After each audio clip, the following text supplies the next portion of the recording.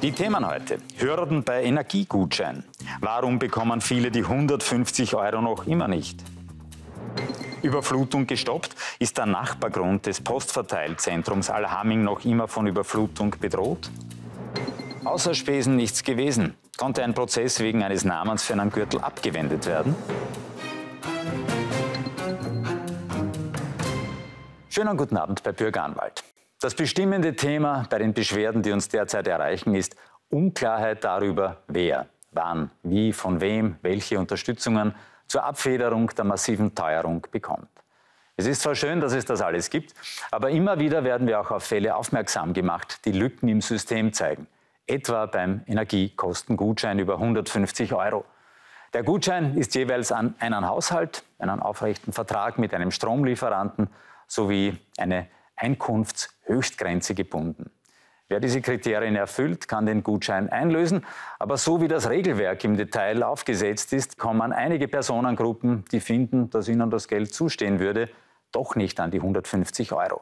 Etwa die Bewohnerinnen und Bewohner einer betreubaren Wohnhausanlage.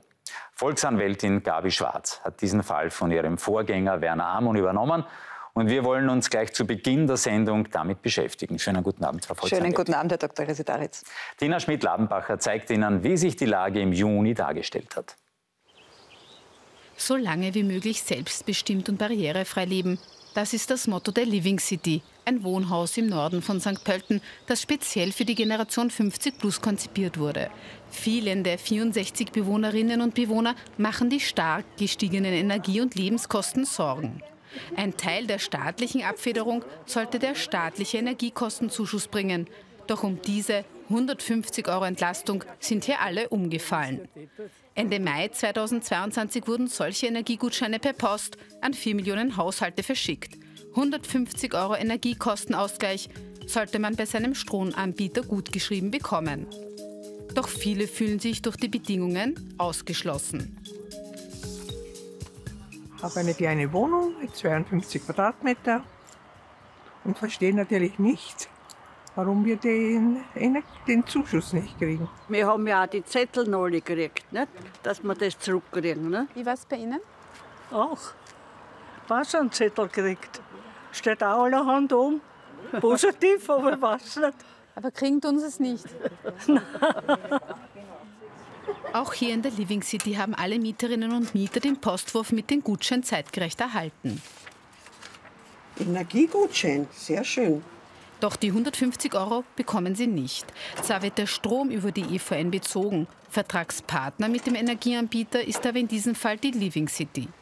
Und die rechnet den Strom mit den einzelnen Mietern in monatlichen Kontozahlungen ab.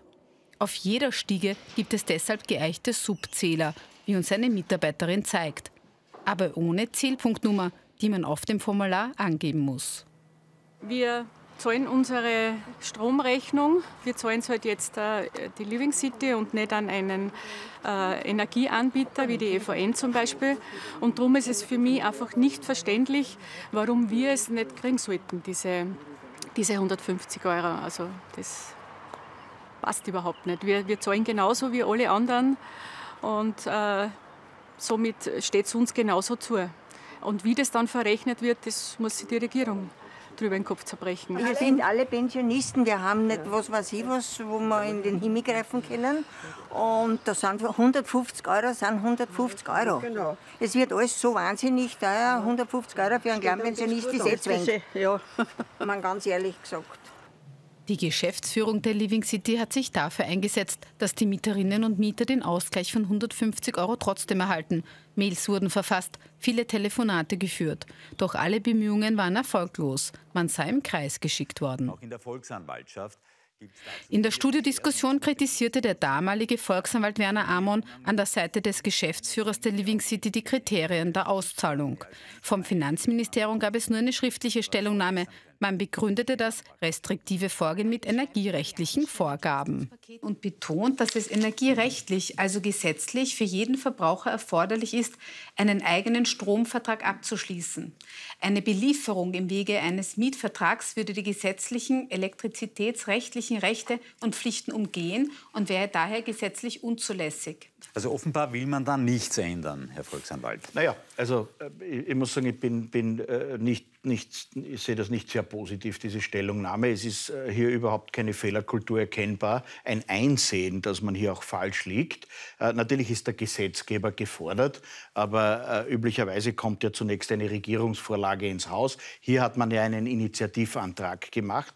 Das heißt, das ist ohne Regierungsvorlage beschlossen worden. Und deshalb wenden wir uns auch direkt an den Gesetzgeber, weil wir nicht glauben, als Volksanwaltschaft nicht glauben können, äh, dass es intentiert ist, dass so viele Menschen, äh, die diese Unterstützung gerade jetzt dringend bräuchten, dass die um diese Unterstützung umfallen. Was hat sich nun, fast vier Monate später, in dieser Sache getan?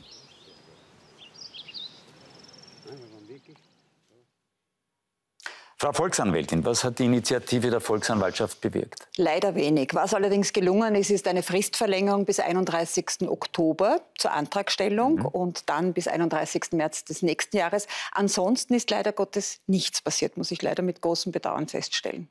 Was schreibt uns das Bundesministerium für Finanzen dazu? Das Finanzministerium schreibt, ich zitiere, wir bedauern, dass die in der Sendung gezeigten 64 Seniorinnen und Senioren des Wohnhauses in St. Pölten keinen Energiekostenausgleich erhalten. Das Erfordernis, dass für einen Anspruch aus dem Energiekostenausgleich für einen Hauptwohnsitz ein Stromlieferungsvertrag bestehen muss, welches seine rechtliche Grundlage im Elektrizitätswirtschafts- und Organisationsgesetz findet, wurde auch in der technischen Abwicklung so nachgebildet.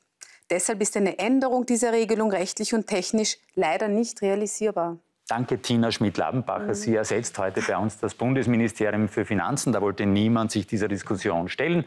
Wir haben aber eine ausführliche schriftliche Stellungnahme bekommen. Frau Volksanwältin, ist so eine Regelung tatsächlich nicht realisierbar? Es ist ja da die Rede von 64 Pensionistinnen und Pensionisten. Es betrifft ja aber nicht nur die, wie wir wissen. Es betrifft die Pensionistenheime, Seniorenheime, Seniorenwohnheime. Es betrifft aber auch Studentenheime. Es betrifft alle, die Pauschalmiete zahlen und auch sehr viele Kleingärtner zum Beispiel. Für all diejenigen, die auch mit Subzählern arbeiten, ist das ja keine Lösung.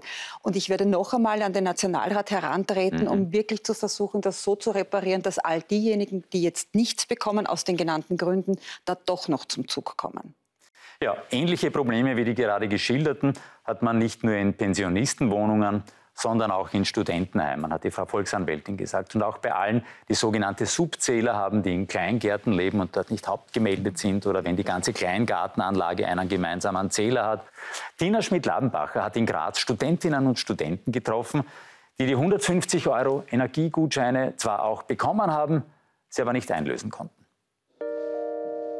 Christina Klammer wohnt in einem 25 Quadratmeter großen Studentenzimmer in Graz. Im Oktober beginnt sie mit dem Studium Soziale Arbeit. Obwohl die Studentin auch nebenbei jobbt, und zwar als persönliche Assistenz für einen Menschen mit einer Bewegungseinschränkung, ist das Geld knapp.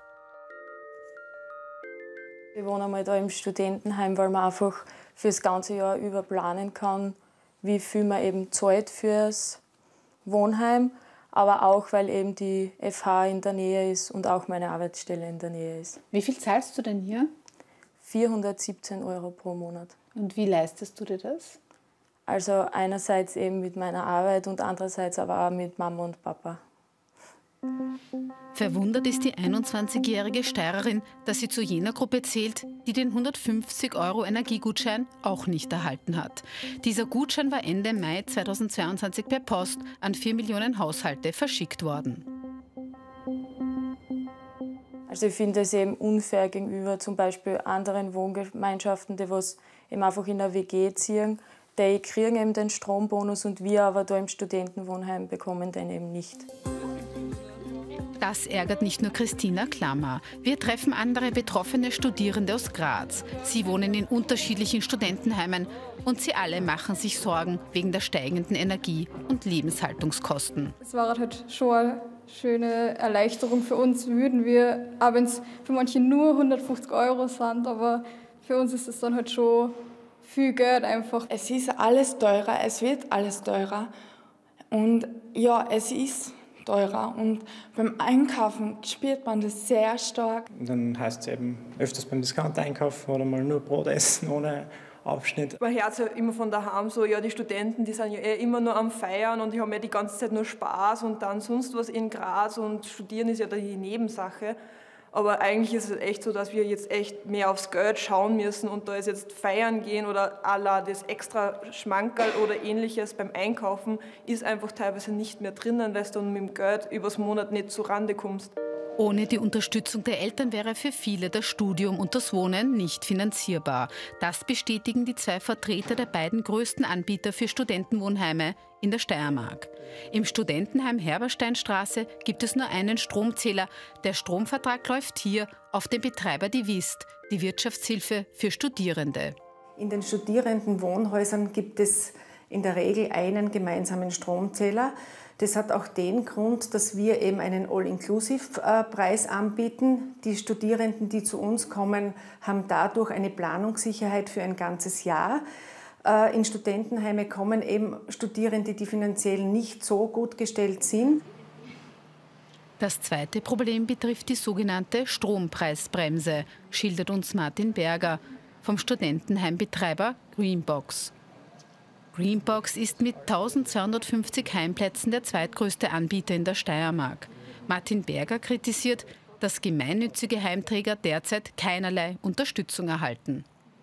Wir zählen halt aktuell offensichtlich nicht zu diesem Bereich, obwohl wir äh, jungen Menschen ihren privaten Wohnwagen zur Verfügung stellen. Das heißt, sie sind gleichermaßen betroffen, ähm, werden aber als Industriebetrieb sozusagen gesehen und müssen daher die volle Strompreiserhöhung ja, letzten Endes schlucken und in weiterer Form dann weitergeben, weil für kommendes Jahr äh, erwarten wir nach Stand heute eher eine Verzehnfachung des Strompreises.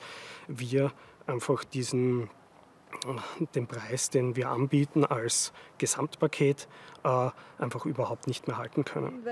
Schon jetzt mussten die All-In-Verträge wegen der steigenden Energiekosten monatlich um 30 Euro erhöht werden. Wie soll es dann für die Studierenden in den Wohnheimen weitergehen? Wie so die E-Mail kummer ist, dass halt wirklich 30 Euro im Monat mehr werden. Aber alles trotzdem mal zum Schlucken, weil es ja trotzdem dann über das Jahr gerechnet nicht wenig ist. Natürlich bekomme ich das zu spüren. Ja. Also ich habe eher ein geringes Einkommen, ich bin auf die Studienbeihilfe angewiesen gewesen. Jetzt muss ich mein Leben eigentlich durch Arbeit finanzieren, was neben dem Studium immer sehr kompliziert ist, weil natürlich dann die Zeit beim Studium selbst fehlt, beim Lernen. Es ist eigentlich überall bei allen Sachen ist eigentlich nur schlechter geworden und sagen wir, Studenten sind jetzt eh nicht unbedingt die, die was halt recht viel verdienen. Und bei mir ist es auch so, dass ich von meinen Eltern eben noch ein bisschen was kriege und, und zusätzlich noch arbeiten gehen muss, quasi, dass sich das Ganze halt ausgeht. Und wie gesagt, so einen luxuriösen Lebensstil leistet man sich ja eh nicht.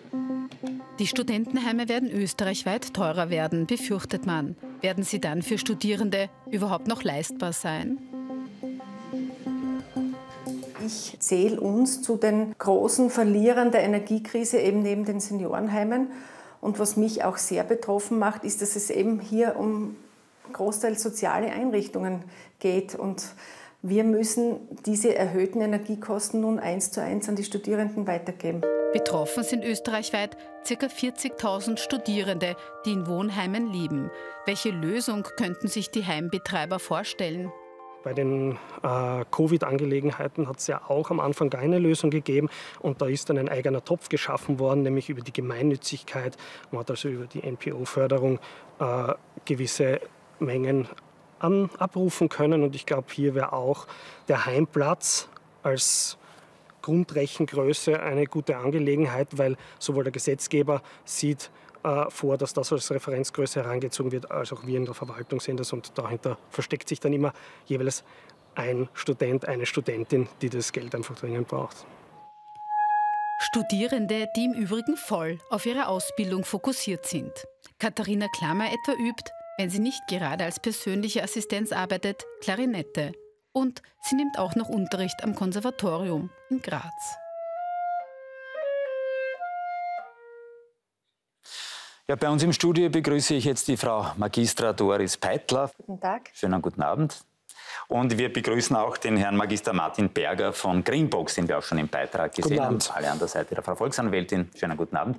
Tina Schmidt-Labenbacher ist bei uns geblieben. Sie war diejenige, die den Beitrag gemacht hat und war sehr beeindruckt, glaube ich, vom Fleiß der Studierenden ja, irrsinnig engagiert und, und äh, leistungsbereit, aber wirklich kämpfend mit den Bedingungen. Also entsprechen überhaupt nicht mehr dem Bild der Bummelstudenten, mhm. das man so hat. Das sicherlich nicht. Und wie gesagt, also der Großteil der Studierenden muss arbeiten. Also geringfügig zumindest. Und äh, es verzögert sich dann alles. Wenn Sie mehr arbeiten, äh, braucht man länger fürs Studium und das hat nicht, nichts mit Faulheit zu tun. Das Leben wird teurer. Also wie gesagt, das Studentenleben hat sich geändert. Also alle sind wirklich sehr fokussiert, schnell fertig werden mit dem Studium und möglichst rasch ins Arbeitsleben kommen. Auf jeden Fall. Also es hat allein durch die Umstellung auf Bachelor-Master-Systeme, die Verschulung der Lehrpläne hat sich einfach glaube ich, der studielle Alltag äh, deutlich geändert, zu Zeiten wie Sie oder auch wie ich studiert habe. Ja, bei mir ist es noch ein bisschen länger her. Ähm, was schreibt uns das Finanzministerium zu der Kritik, die da geübt wurde? Was kann man sich vorstellen? Vom Finanzministerium heißt es, äh, man schreibt zum Energiegutschein eigentlich das Gleiche wie bei den Pensionistenheimen. Es ist ziemlich ähnlich. Es fehlt die Zahlungsverpflichtung aus dem Stromlieferungsvertrag, daher keine 150 Euro. Und man weist auf die Stromkostenbremse hin. Diese wurde als weitere und wesentlich größere Entlastung beschlossen. Die Stromkostenbremse sieht einerseits eine automatische Entlastung für Stromkunden direkt auf der Rechnung vor und andererseits ist ein Antragsmodell in Ausarbeitung, das auch auf die besondere Situation, wie sie beispielsweise größere Haushalte und auch Wohnhäuser für Seniorinnen und Senioren oder Studentenwohnheime aufweisen. Und darauf will man Rücksicht nehmen. Frau Volksanwältin. Das eine hat ja mit dem anderen nichts zu tun. Auf der einen Seite reden wir immer noch vom Energiekostenausgleich, der nicht ausgezahlt wird, und auf der anderen Seite vom Strompreisdeckel. Ich glaube, das darf man nicht vermischen.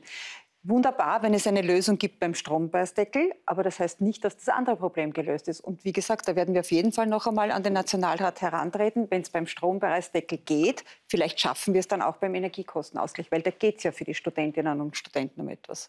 Was würden Sie sich wünschen? Was würde es brauchen? Also wir würden uns wünschen, dass wir eben in der Regelung angelehnt werden an die Haushalte, weil wir äh, stellen ja Wohnraum zur Verfügung, der vergleichbar ist mit einer Wohngemeinschaft. Mhm. Also diese Studentenheim, Studierendenheime, die es äh, in den 60er Jahren gegeben hat, äh, mit Bädern am Gang und so Zimmern nebeneinander, gibt es ja nicht mehr. Also wir haben Wohngemeinschaften. Äh, der Unterschied zu einer Privatwohnung ist eben der, dass die Studierenden diesen All-Inclusive-Vertrag haben. Mhm. Das bedeutet Planungssicherheit, weil wir äh, beherbergen ja größtenteils Studierende, die finanziell nicht so gut gestellt sind. Sie können sich ein Jahr auf einen Fixpreis einstellen. Das ist ein großer Vorteil. Mhm.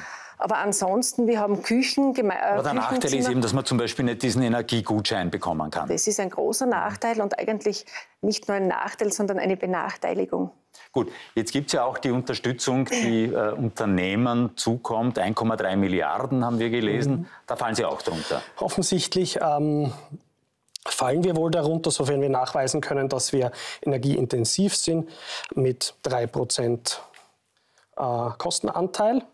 Ähm, in dem Fall würden rund 30 Prozent der Kosten ersetzt werden. Das würde aber immer noch bedeuten, dass wir 70 Prozent weiterhin an alle Studierenden überwälzen müssen, um unser wirtschaftliches Überleben einfach zu sichern. Das ist insofern problematisch, weil noch niemand weiß, wie hoch dieser Strompreis steigen wird. Mhm. Und die Planungssicherheit, die wir letzten Endes allen Studierenden äh, gewährleisten wollen und das auch tun mit Einjahresverträgen, die dann einen Fixpreis darstellen, äh, die wird in Zukunft verloren gehen.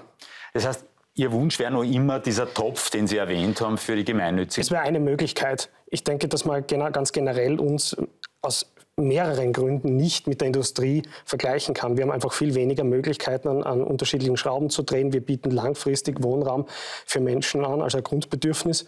Ähm, und können weder an unseren Produkten großartig was ändern, noch an der Preisstruktur, außer dass wir eben Preise anpassen. Außerdem äh, wird, die, wird auch unser Strompreis nach der Industrie äh, bemessen. Das heißt, wir haben keine Bestandsverträge. Wir werden im nächsten Jahr einen neuen Stromliefervertrag abschließen müssen. Das trifft uns natürlich ebenfalls hart in manchen Heimen und, sogar. Und das wird halt ja. weitergegeben oder muss weitergegeben muss werden an die Studierenden. Und jetzt haben wir im Beitrag gesehen, das hat mich eigentlich äh, fast erschüttert, hat es mich gerissen, wie der junge Mann gesagt hat, er muss beim Brot jetzt schauen oder sparen, was er sich aufs Brot schmiert oder ob er sich nur ein Wurstradl drauflegen kann. Das, das ist nur ein Beispiel. Dramatisch. Ja, das klingt dramatisch. Wenn es ja. stimmt, klingt das wirklich dramatisch. Und wie gesagt, das betrifft ja nicht nur Studentinnen und Studenten, weil es über die Vereinslösung gegangen mhm. ist bei einem MPO-Fonds.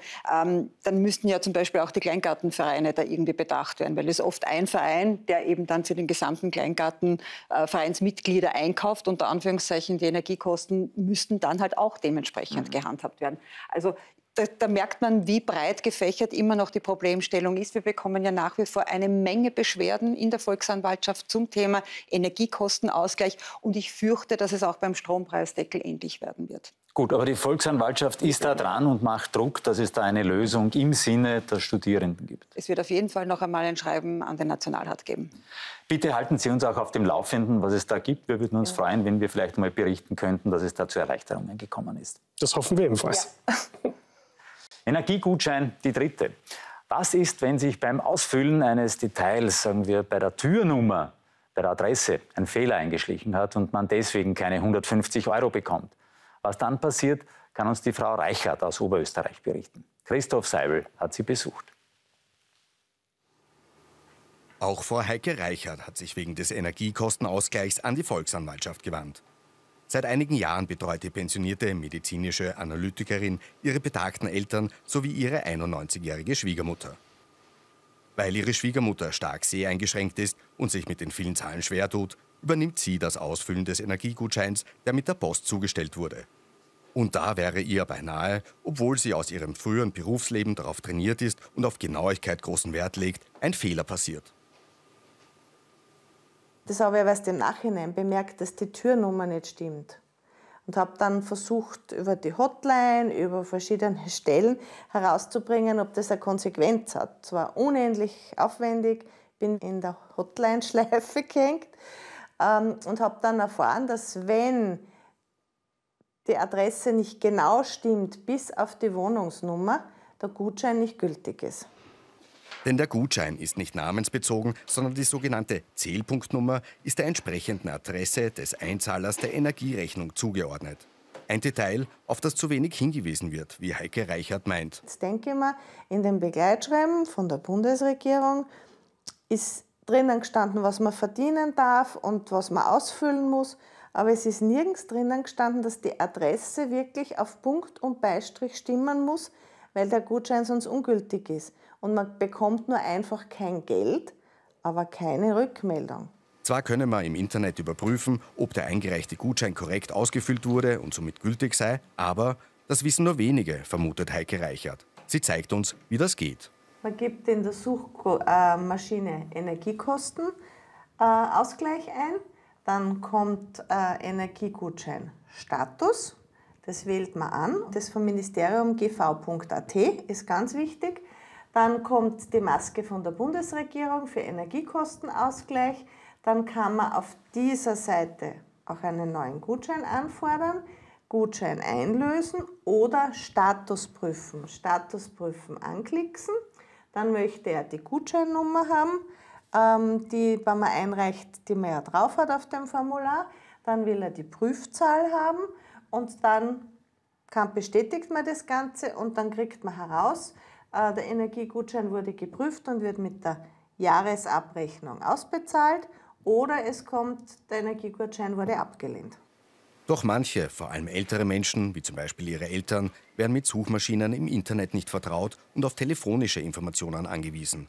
Und da wären die Wartezeiten am Telefon einfach zu lang.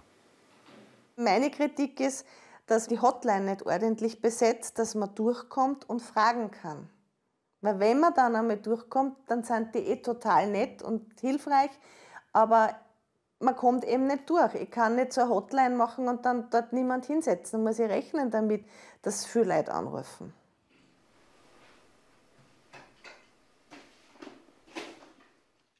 Frau Volksanwältin, ist das auch nur einer von vielen Fällen, die an die Volksanwaltschaft herangetragen werden?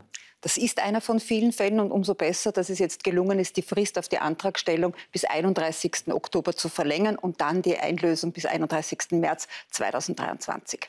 Und die Leute sollen dann auch verständigt werden, ob diese Einreichung durchgegangen ist und sie die 150 Euro bekommen oder dass wir verständigt werden, Achtung, da ist was schiefgegangen, noch einmal. So ist es. Es soll eine persönliche, schriftliche Verständigung geben. Ich würde aber trotzdem appellieren, das selbst zu kontrollieren, wie weit der Antrag bereits abgearbeitet ist.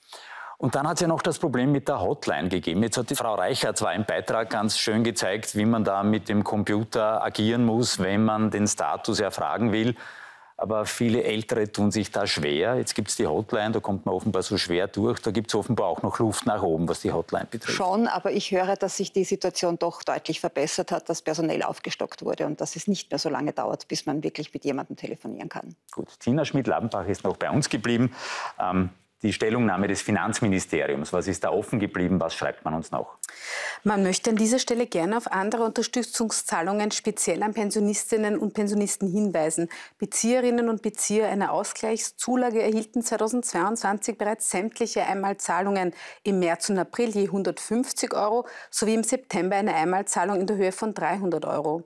Pensionistinnen und Pensionisten mit Pensionen bis zu 2250 Euro erhielten im September 2022 eine von der Pensionshöhe abhängige außerordentliche Einmalzahlung von bis zu 500 Euro direkt aufs Konto überwiesen. Das ist alles sehr löblich. Aber insgesamt habe ich den Eindruck, dass viele vielleicht schon den Überblick verloren haben, was es da alles gibt, was man alles beantragen könnte, von wo man Geld bekommen könnte. Müsste man das alles vielleicht ein bisschen bündeln? Es wäre natürlich sinnvoll, das alles unter einem Begriff, nämlich Energiekosten, zu bündeln. Dann würde man sich besser auskennen. Das wäre wünschenswert, ob es funktionieren wird. Wie gesagt, wir tun unser Bestes, da immer wieder Denkanstöße zu liefern, dass sich die Situation verbessert. Und wir werden weiterhin auf Lücken im System hinweisen. Genug von den Energiegutscheinen. Unser nächster Fall führt uns jetzt nach Alhamming. So schaut es beim Grundstück des Herrn Ehrenberger in Alhamming aus, wenn es stärker regnet. Er meint, das hätte mit den Bauarbeiten am Nachbargrund zu tun. Da ist mit massiven Erdbewegungen ein großes Postverteilzentrum entstanden.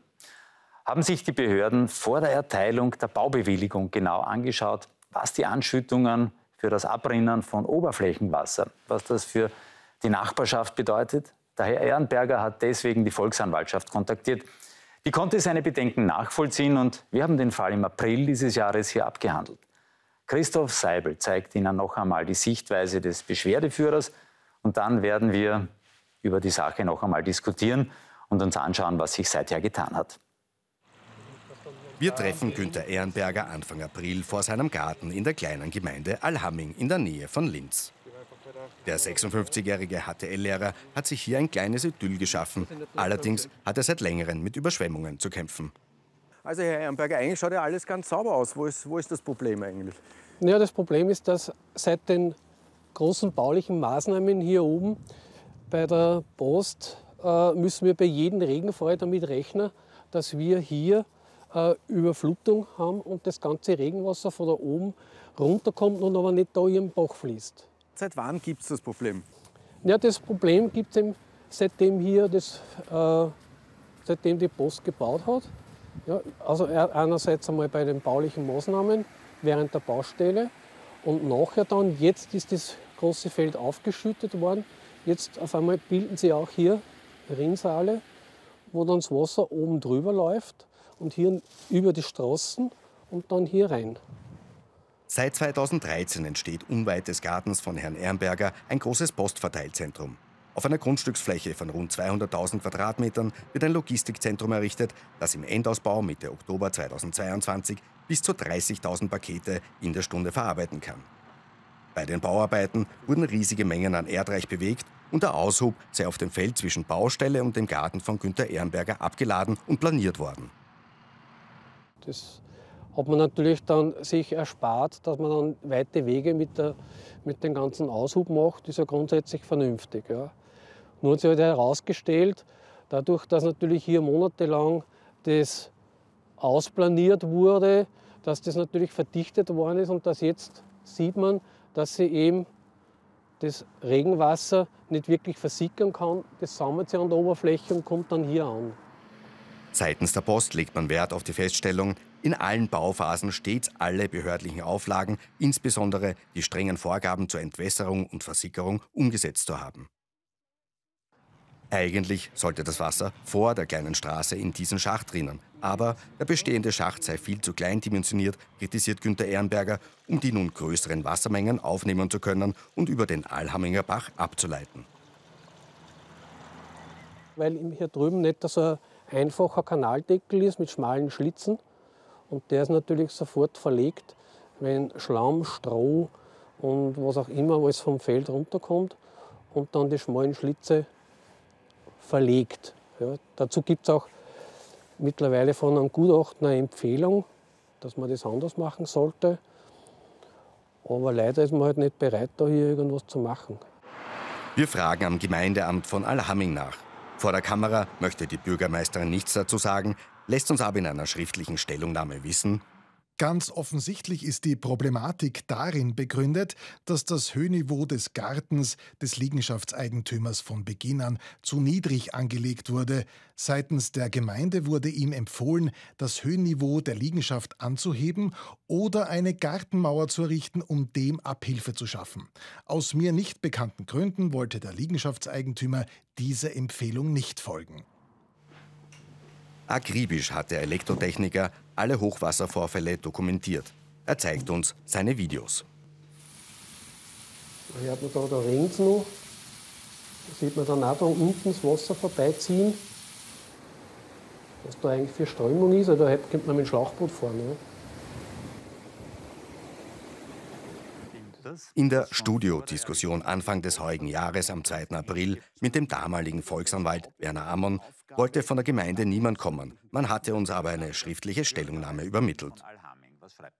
Der guten Ordnung halber darf darauf hingewiesen werden, dass für die Beseitigung von Oberflächenwässern nicht die Zuständigkeit der Gemeinde gegeben ist. Ich, ich kann mich nur wundern, nicht über die Stellungnahme der Gemeinde.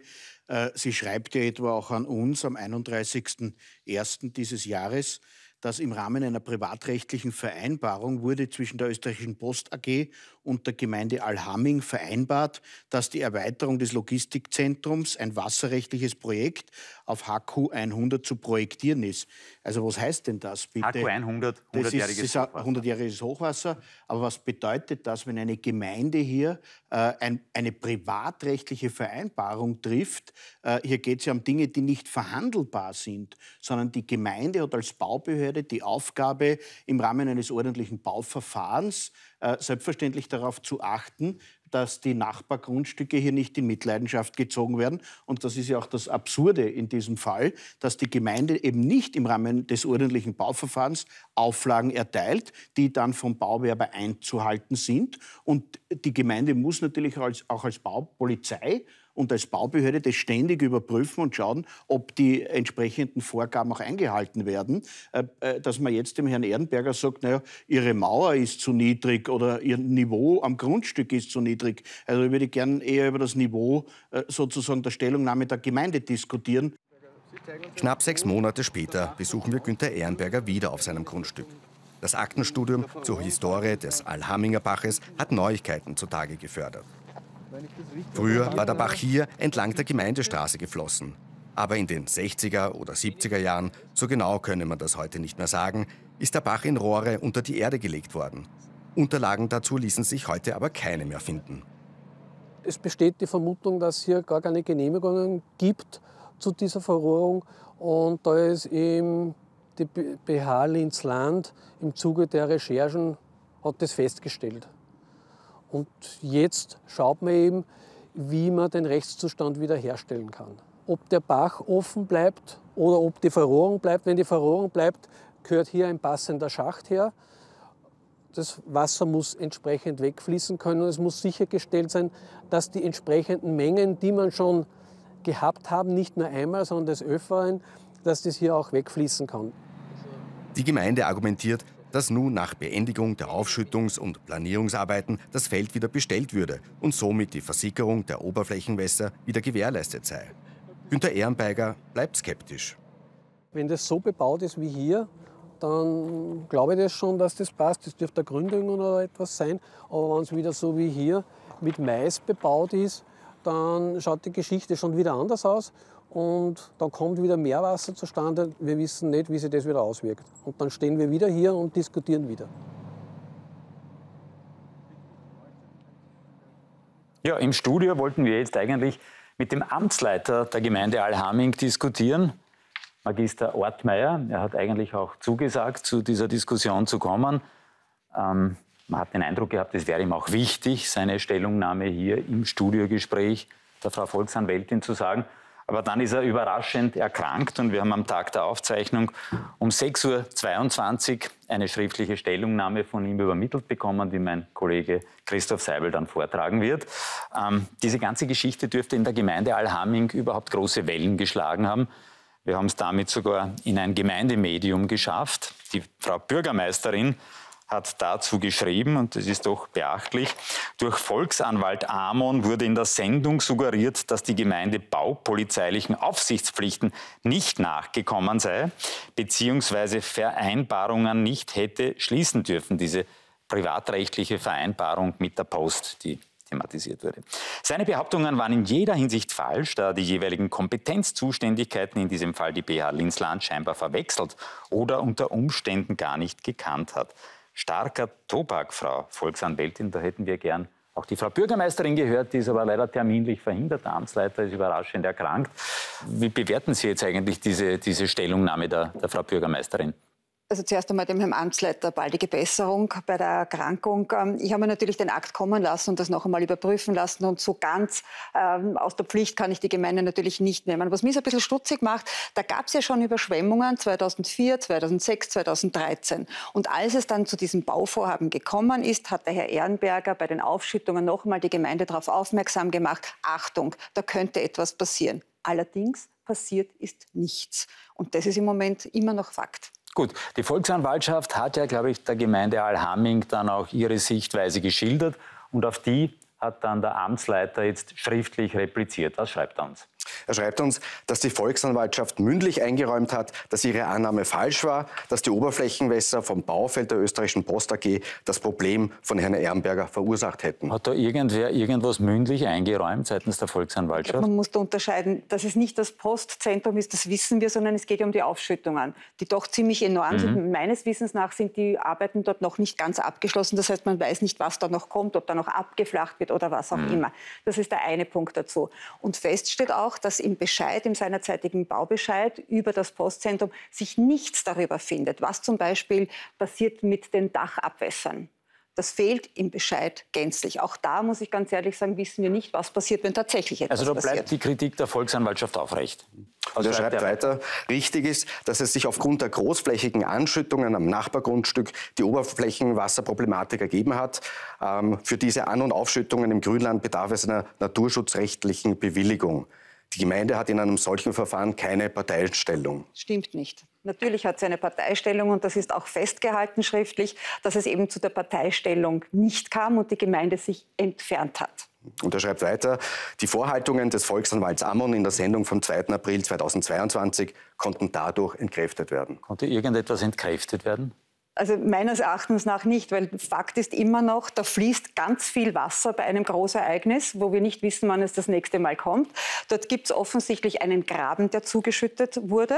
Da gibt es eine konsenslose Verrohrung, für die gibt es keine Bewilligung. Diese Verrohrung, das hat ja. sich jetzt herausgestellt, ja. die ist wirklich konsenslos. Da die haben sich keine Unterlagen gefunden, ja, dass das richtig, bewilligt oder genau beantragt worden wäre. Und auch dieses Ansinnen, dass der Herr Diplomingenieur Ehrenberger was abgraben soll oder eine Mauer errichten soll, das erschreckt mich ein ein bisschen, weil was ist da zum Beispiel, wenn der auf öffentlichem Grund abtragen lässt oder eine Entlastungsrinne, das ist ja Hanebüchern, weil was passiert dann, das wenn dort was passiert? Ja, ja, genau. auf öffentlichem ja. Grund auf eigene Kosten Richtig. abtragen. Abtragen oder eben, so wie im Beitrag erwähnt, eine Mauer errichten. Aber das mit dem Abtragen, was ist, wenn sich dort wer, ich weiß nicht, zerknöchelt, den Fuß bricht oder mhm. ähnliches, das ist öffentliches Gut. Mhm. Und da wird es für mich schon ein bisschen bedenklich. Ist das Bauverfahren mangelhaft gewesen, jetzt pauschal betrachtet? Es geht jetzt um diese naturschutzbehördliche Bewilligung. Und da steht drinnen, dass die nur erteilt wurde unter der Prämisse, dass es keine konsenslose Verrohrung gibt. Und das wird im Moment von der Wasserrechtsbehörde geprüft. Gut, und dann hat es noch einen zweiten Punkt gegeben in der Kritik der Volksanwaltschaft, nämlich eben, dass die Gemeinde, wie Sie gesagt haben, ihre Parteirechte im naturschutzrechtlichen oder naturschutzbehördlichen Verfahren nicht gewahrt hat. Was schreibt uns der Amtsleiter dazu? Äh, zu Punkt 1 und 2 darf festgehalten werden, dass der gegenständliche Sachverhalt im Land Oberösterreich zu einer Überprüfung vorgelegt worden ist. Die Rechtsansichten der Gemeinde Alhamming sind bestätigt worden. Ich bleibe bei der Kritik, die wir geäußert haben der Volksanwaltschaft, ist nach wie vor liegt die auf dem Tisch und ich erwarte mir schon, dass es da eine Lösung gibt, dass sich der Herr Diplom-Ingenieur Ehrenberger nicht beim nächsten Großereignis wieder fürchten muss, egal was auf dem Feld angebaut wird, ob er wieder den Schlamm bei sich im Garten hat, ja oder nein. Punkt 3 der Kritik der Volksanwaltschaft, wo auch der Amtsleiter dann schriftlich repliziert hat, war, dass es keine Lösung ist, wie Sie erwähnt haben, das öffentliche Gut tiefer zu legen, Was schreibt er dazu, der Amtsleiter? Zu Punkt 3 wird angemerkt, dass es sich noch um ein laufendes Verfahren der Bezirksverwaltungsbehörde handelt. Erste Teilergebnisse der BH Linz liegen bereits vor und haben die Rechtsansicht der Gemeinde bestätigt, dass unter anderem für die Brücke auf dem Grundstück Nummer 180 KG Alhamming keine wasserrechtliche Bewilligung notwendig ist. Brücke. Ich rede von der Verrohrung. Art 1 und Art 2 bin ich sehr gespannt auf das, was da wirklich am Ende herauskommen wird. Das werden wir uns selbstverständlich in der Volksanwaltschaft ganz genau ansehen. Ist der Gesamtzustand wasserrechtlich fragwürdig? Also für mich ist fragwürdig, dass die Gemeinde bis jetzt nichts unternommen hat, um einen Gemeindebürger zu schützen und das mehrmals. Wie gesagt, es gab ja diese Überflutungen schon mehrmals und jetzt durch die Aufschüttungen ist die Gefahr nicht geringer geworden, sondern das Gegenteil. Weil wenn man sieht, welche Wassermassen sich da bewegen auf der Gemeindestraße, das muss doch irgendwem aufgefallen sein, auch schon vorher. Hätte die Gemeinde, die Naturschutzbehörde auf gewisse Umstände wie die Sache mit der Verrohrung und anderes aufmerksam machen müssen? In der Parteistellung wäre sie natürlich gefordert gewesen. Und wie gesagt, die Naturschutzbehörde ist davon ausgegangen, dass es eben keine konsenslose Verrohrung gibt. Das steht auch so drinnen. Die gibt es aber. Also da hakt es für mich. Wenn da jetzt einiges konsenslos war, muss man dort aufgraben, irgendwas baulich verändern. Ich bin jetzt kein Bausachverständiger, aber wenn ich die Bilder sehe, da müsste dringend eine Entlastung geschaffen werden, wie auch immer die dann aussieht. Es gab ja diesen Graben, wo offenbar früher das Wasser abgeflossen ist, der ist zugeschüttet. Also wird man eine Lösung finden müssen, um eben diese enorme Menge an Wasser irgendwie zu steuern und dass sie nicht am Grundstück vom Herrn Diplom-Ingenieur Ehrenberger landet. Noch einmal zu den Aufschüttungen am Nachbargrund. Da hat der Herr Ehrenberger auch noch einen Verdacht, den er beim letzten Dreh meines Kollegen Christoph Seibel geäußert hat. Hören wir uns kurz an, wie er das sieht. Jetzt haben wir bei der Naturschutzbehörde nachgefragt, äh, wie es, das, wie es da ausschaut. Und die Naturschutzbehörde von BH Linz Land hat uns kommuniziert, dass auf eine Genehmigung angesucht wurde auf 80.000 Quadratmeter eine Aufschüttung von 0 bis 3,17 Meter durchzuführen. Das wurde genehmigt und hätte auch so durchgeführt werden sollen, was sich aber wieder nicht deckt nach unseren Beobachtungen. Man sieht auf den Fotos, dass da Aufschüttungen bis maximal 8 oder 10 Meter durchgeführt wurden. Also statt Aufschüttungen bis maximal 3 Meter irgendwas 8 bis 10 Meter.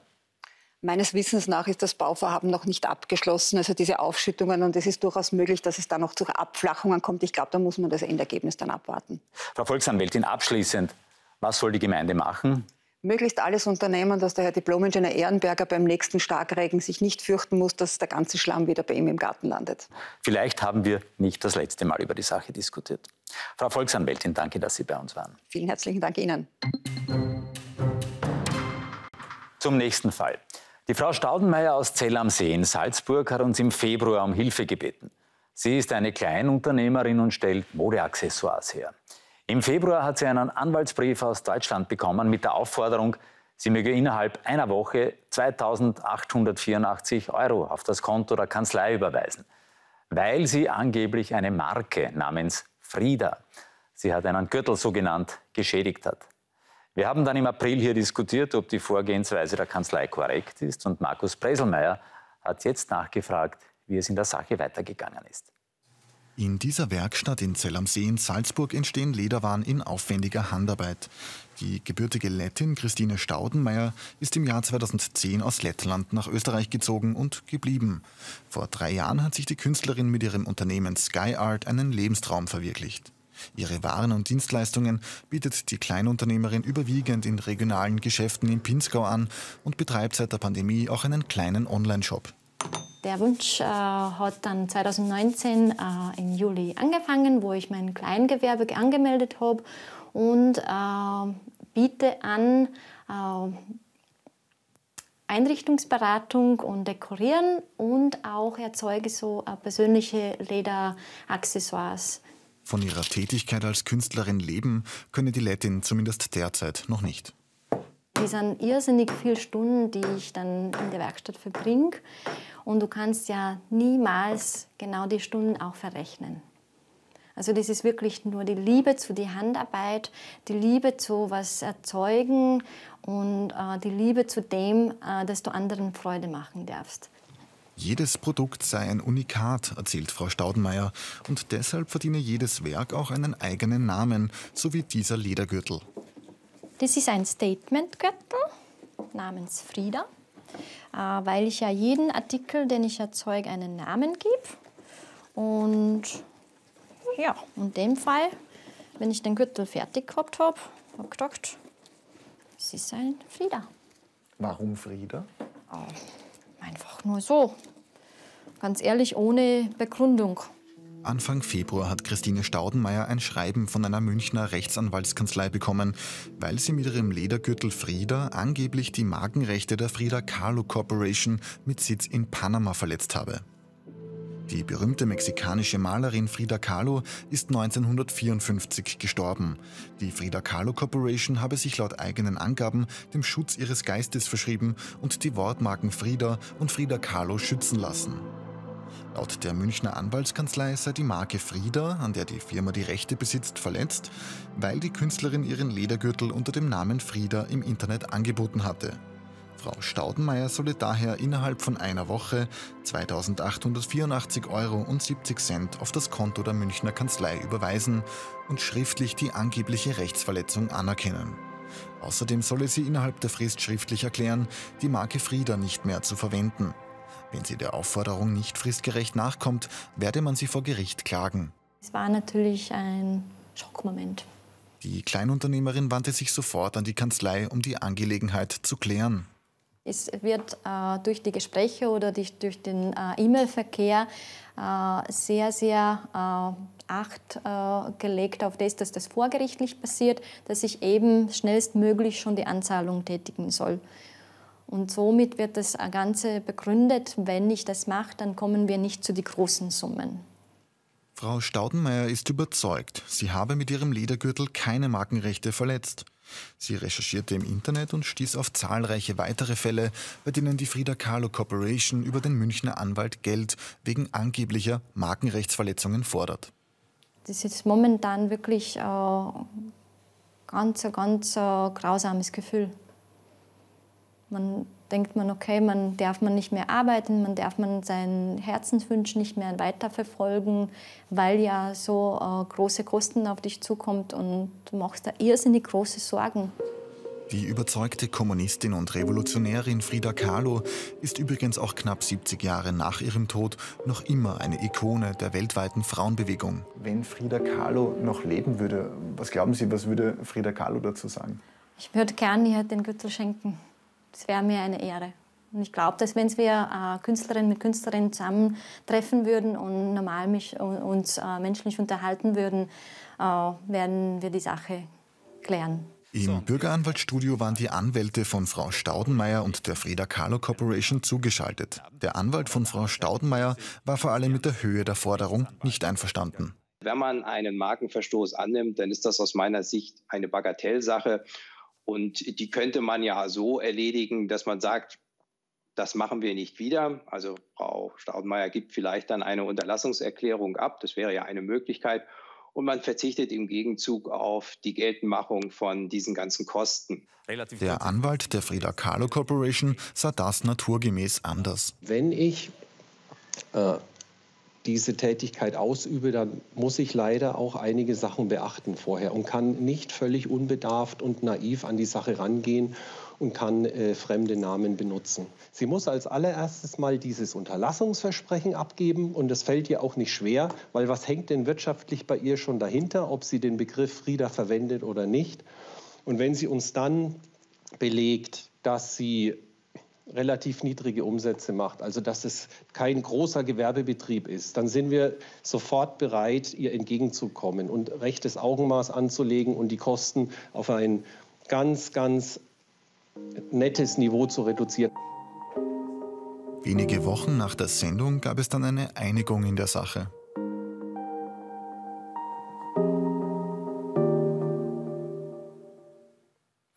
Die Frau Staudenmeier hat dann tatsächlich eine Unterlassungs- und Verpflichtungserklärung bzw. ein Unterlassungsversprechen abgegeben und man hat sich darauf verständigt, dass sie eine bestimmte Summe Geldes zahlt. Wegen der Verschwiegenheitserklärung dürfen wir da keine Höhe nennen. Wir lernen, man muss bei der Benennung oder Bewerbung von Waren, die man selber produziert oder die man verkauft, höllisch aufpassen und genau recherchieren, damit man da keine Markenrechte verletzt. Das war's für heute. Danke fürs Zuschauen. Bis nächste Woche. Und nächste Woche in Bürgeranwalt eine umgestürzte Stützmauer bringt eine Oberösterreicherin zur Verzweiflung. Die Baufirma hat sich zwar verpflichtet, die Mauer zu sanieren, weigert sich aber dann trotzdem, die Arbeiten durchzuführen.